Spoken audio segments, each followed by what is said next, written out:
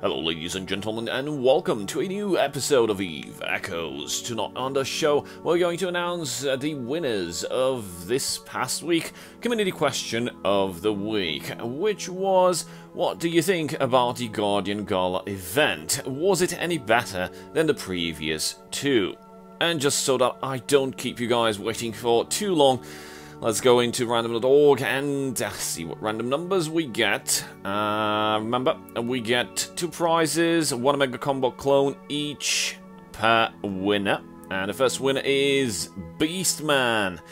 Very disappointed by the Gala event. Encounters took so long to complete flying from station to station that I gave up on them. Spending Plex to unlock the rewards was a major turnoff as well.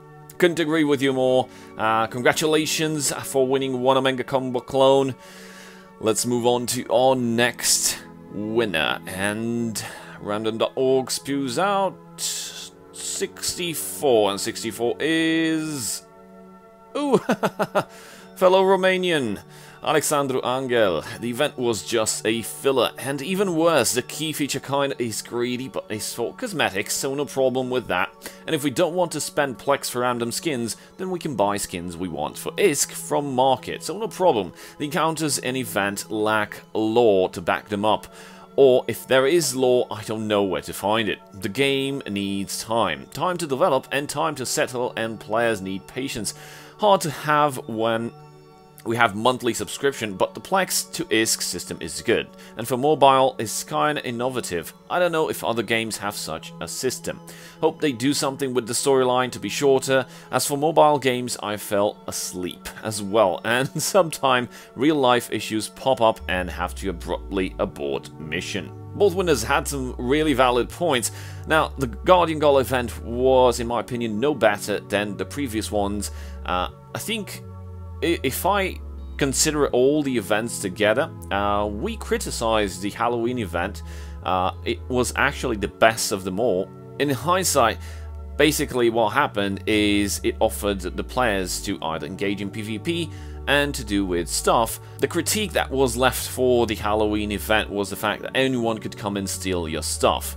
Now that has been fixed, but it was taken to the extreme Basically, everything is just running encounters and getting some loot boxes, but the cherry on the top, in a bad way, for this event was the fact that we had keys, which were optional of course, but if you really wanted to get something premium like a permanent skin, you had to use a key, which cost 100 plex, so that's 100 million, Sure, you might get return of investment, but after after every player started spending um, Plex to get those keys, prices dropped considerably for the permanent skins because everyone started having them.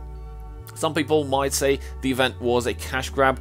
I say it was not. And why is that? Because everything is optional. Cosmetics are pretty much redundant and kind of pointless in this game if you consider that most of the time you spend playing is zoomed out and you just see triangles, pixels and dots.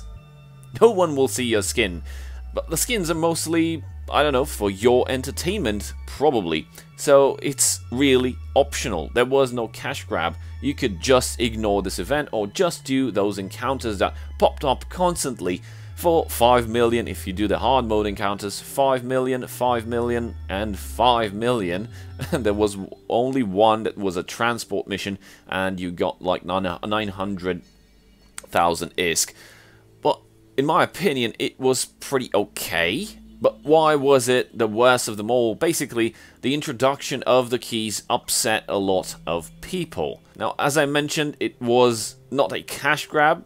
Everything was optional in my opinion. Uh, skins and cosmetics are kind of pointless. But for people who just, I don't know, like to be completionists and have everything in the game, sure, this looked like a cash grab. And I really wanted to see an event based on lore, yet we don't have such a thing. And we have, just to answer uh, Alexander's question, we have no lore. Eve Echoes is currently devoid of lore. There's only the bits and pieces of lore made by the game because it's established off of EVE Online, uh, or at least off of the EVE universe. but law as in why is Empire X at war with Empire Y? Why is the Caldari insane about superpower and corporations? Why is the Amarr um, so religious? Why the Minmatar hold so many grudges against the Amarr? And what's the Gallente's purpose in all this? And of course, where is the Jove? And when will we get the Sleepers? In my opinion, uh, the developers should actually hire or consider hiring a writer. That would put so many things into perspective. But enough of that, uh, Guardian Gala. Congratulations, Alexandru and Beastman. Uh, please leave a comment below with your in-game name and your character ID so I can pass that information uh, to the people responsible handing out the prizes. For those of you that didn't manage to receive the prizes yet, uh, that is mostly because uh, the entire office uh, of NetEase is basically on vacation. You know, the lunar year, the new, the Chinese New Year, and they're basically on holiday. But as soon as they will come back, um, everyone should receive everything. Hopefully. If you don't receive or have not received your stuff, please leave a comment below or contact me on Discord and let me know and I'll try to get in touch with Joseph, the community manager, to, to try and sort things out. So, uh, we're going to have yet another giveaway, another Omega uh, two Omega Combo clones for two randomly picked winners. Stick around till the end of the video and uh, you'll be able to hear the next community question of the week. Until then, let's take a look at what we exactly promised, which is a short review of the eight battleships. And uh, one more important thing, leave a comment below with the battleship that you would like me to review. I'll actually post one of these uh, polls into the community tab on the channel so you'll be able to vote which one of the battleships you'd like to see reviewed and I'll probably set up um, multiple fittings for you guys to understand how it works and how it should behave. Considering the votes that will be cast in favor of these battleships, I will take them in the order of voting. So just to get a quick glance at the battleships, the tech line uh, battleships that uh, almost everyone just unlocked. There's still a couple of players that are, are still behind and will catch up. And of course there's the new players that uh, probably just uh, tech level 6 or so. Or even new players if you're watching the channel that you're probably tech level 3, 4 already in your trainer cruisers. Hope you enjoy and find the information in this video useful for when you will be reaching tech level 9. Let's start off with the Caldari state. Uh, we've already did uh, ship tree reviews for all the nations. But here we are going to get into a bit of depth uh, and try to understand what a battleship fits and what role. So the first one will be the Scorpion. Now the Scorpion is kind of dumbed down and why is that? Because uh, uh, one of the most important electronic warfare system uh, it has not been yet introduced into the game, which is ECM, Electronic Countermeasures.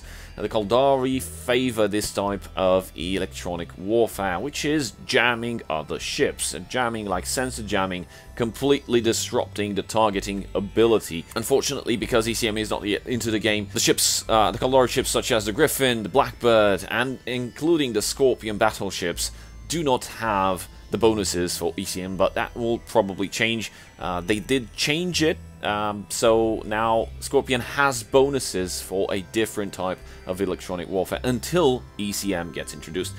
So we get 10% guidance disruption strength and 10% guidance disruption optimal range. Now the guidance disruption, if I'm not mistaken, this is only applying to missiles, which is kind of crappy. But there's the other, um, I think this is the Minmatar or the Gallente, can't remember, we'll get to that, um, basically which have tracking disruption. And uh, the tracking disruption applies to turrets. But I don't know, it would have been nice to have them unified in a way. We go on, we got 5% scan resolution, meaning uh, you target stuff faster. Considering this is a battleship, uh, you will have, actually all battleships have this disadvantage when it comes to targeting smaller ships. Uh, this bonus helps with that, not that much, but it helps. It's a it's given by Advanced Electronic Warfare bonus uh, per level. So in level 5, uh, you get plus 20, 25% scan resolution.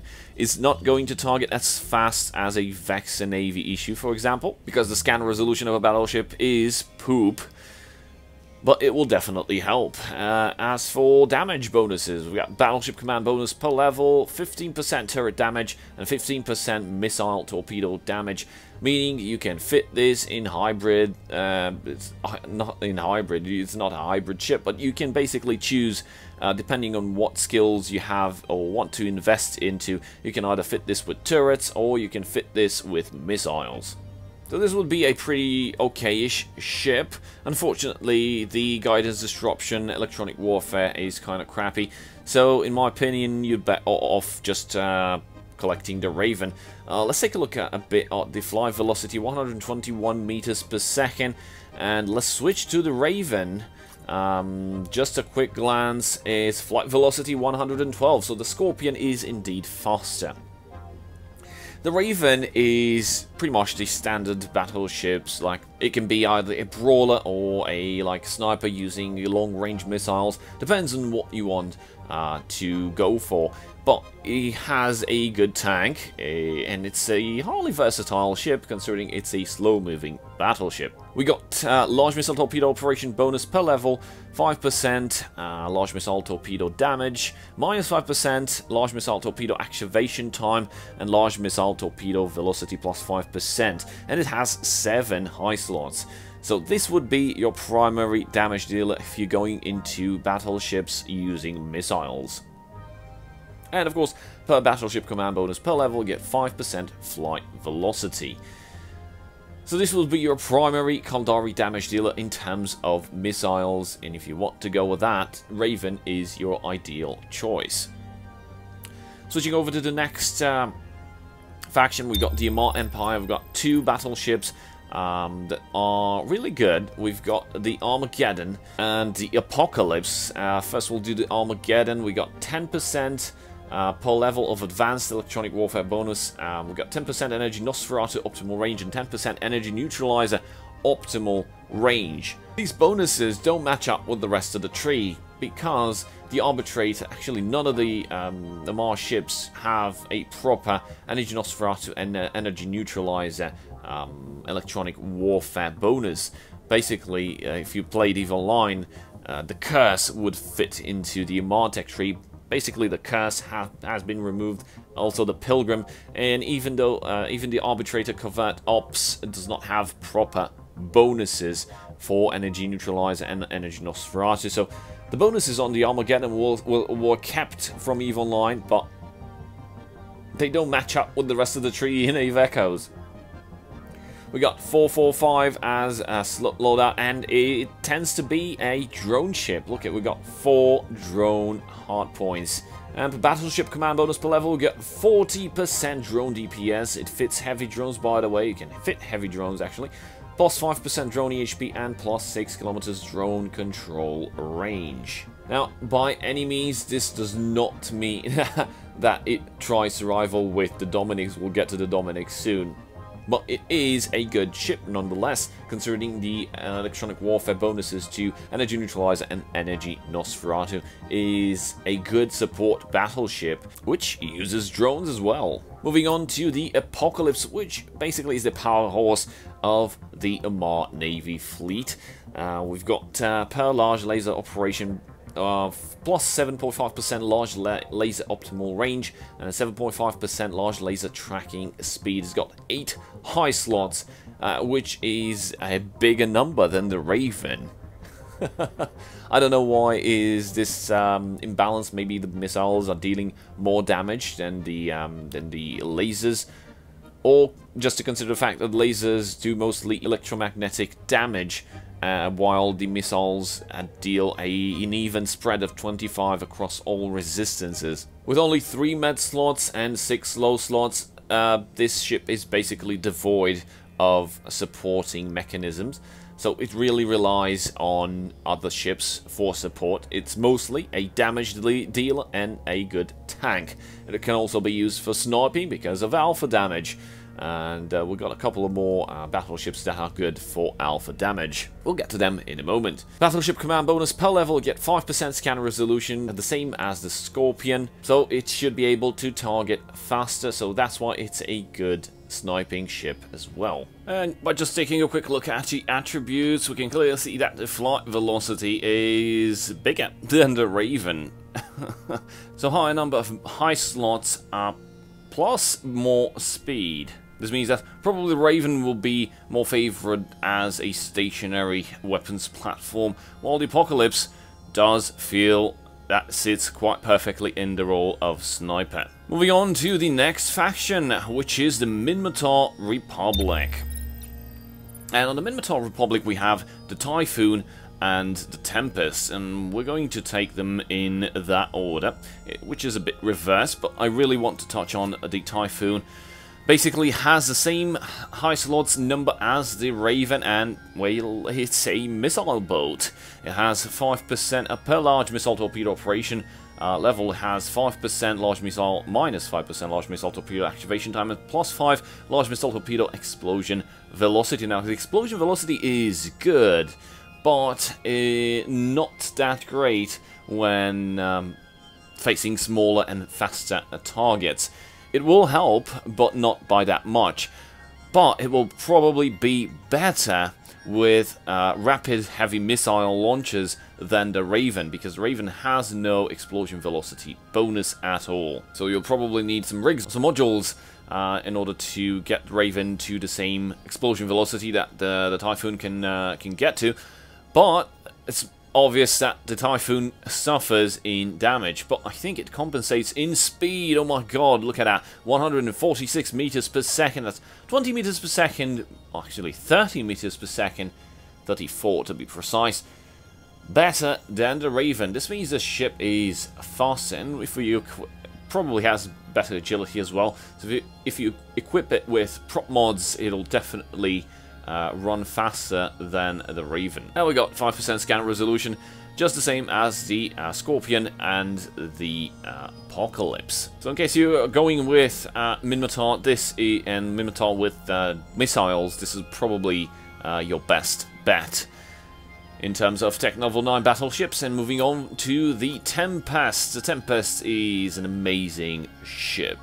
Uh, it's kept pretty much its stats from EVE Online. Uh, I didn't see any modifications. There's a bit of uh, know, touches here and there.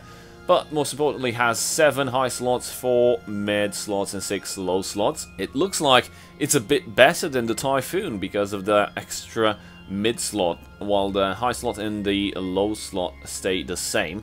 Now it does have 7 high slots, which is one less than the Apocalypse, but we all know that the cannons deal incredible damage and have extremely good alpha strike if you fit it with strike cannons, of course.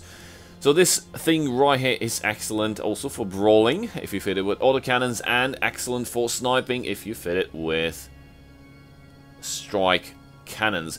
We got uh, large cannon operation bonus per level, we get 5% large cannon damage, and battleship command bonus per level, we get minus 4% large cannon activation time. So both these bonuses, uh, both these stats uh, improve the DPS which can get pretty decent. There's no other bonuses in terms of um, other things, like scan resolution and other stuff, but it does pack a punch when fit as a sniper. And the speed is also good, we got 136 meters per second. By the way, we won't go into any more details with the stats, because we'll do full reviews of the ships themselves, of course, uh, once you guys vote, please remember to vote in the community tab. There'll be a poll with the battleships. Which one would you like to see first? And I'll take them in the order of biggest votes to the smallest votes and showcase them and show you guys good fits, interesting fits, and uh, probably strategies as well. So moving over to the last faction,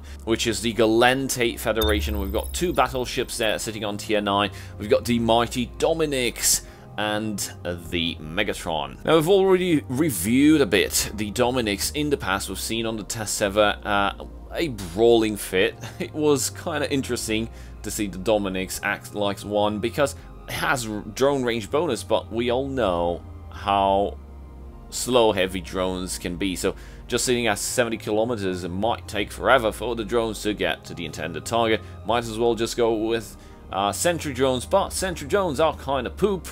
and they're kind of retarded. And why is that? Well, uh, I think we'll get to why the Sentry Drones are shit uh, when we'll do the Dominix review. Let's take a look at its stats. We've got uh, large drone operation bonus per level, 40% extra drone DPS, pretty much the same bonuses as the Armageddon, but it has 5 uh, drone tubes.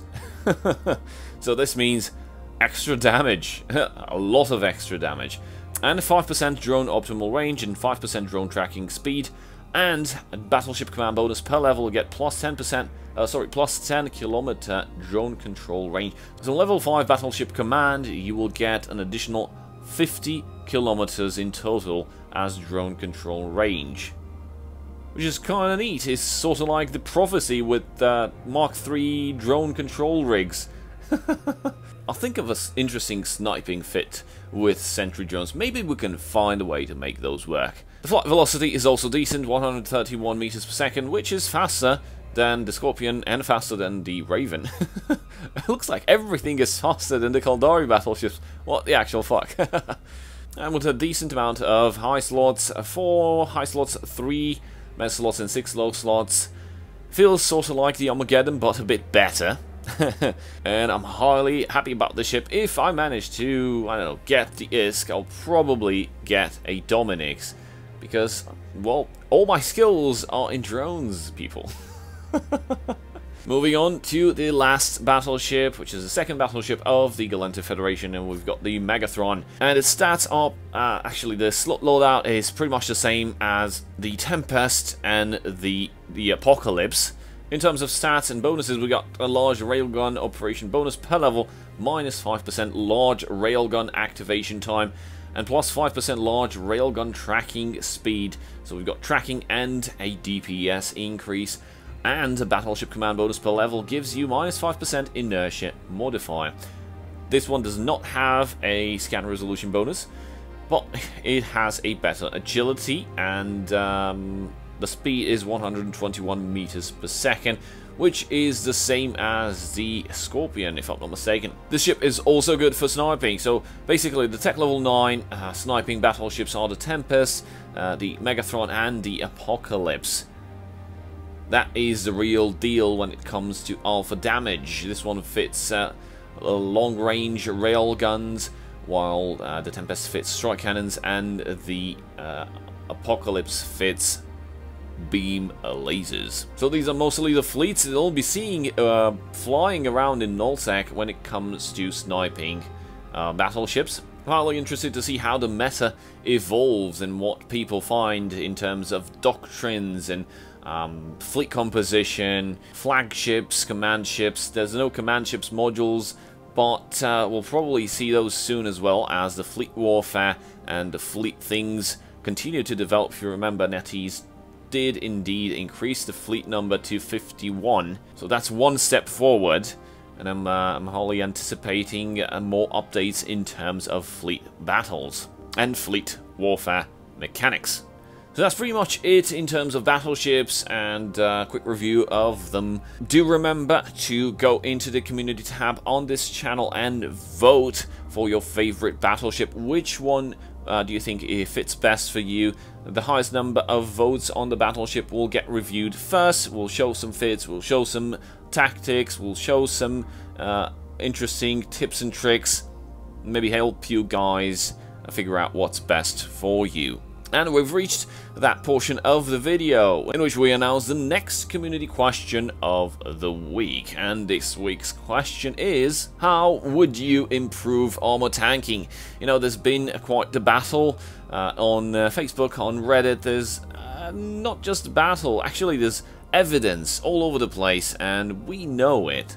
Armor tanking is kind of poop nowadays. For example, almost every fleet um, warfare in nullsec that will be using battleships is most likely going to fit shield tanking, even though the ships are going to be armor tanked like the Apocalypse or the Megathron. They'll be using shield fittings because that is better, even on armor tanking vessels. By the way, uh, all the battleships that we reviewed have no armor tanking bonuses. The only thing that they have is more armor hit points, but that is irrelevant if you consider uh, the shield tanking capabilities outmatch the armor tanking capabilities by such a big number. So please leave a comment below and let me know what do you think about how to improve armor tanking. I highly await your comments and uh, good luck. We'll reveal the next two winners on next week, Wednesday or Thursday, depends on when I find time to film more stuff. But that's pretty much it for today. I hope you guys learned something. Thank you guys for watching. A very big shout out to my channel supporters, and I'll see you guys next time. Cheers.